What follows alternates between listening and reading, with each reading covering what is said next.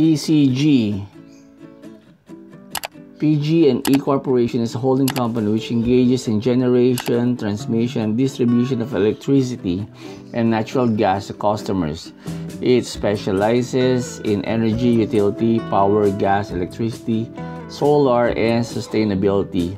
The company was founded in 1995 and is headquartered in San Francisco, California. Its current price is at 12.27 US dollars with a volume of 12.89 million, slightly below its average volume of 15 million. RSI at 60.98. It is above the 10-day moving average and with the bullish engulfing candlestick, for me it is a buy.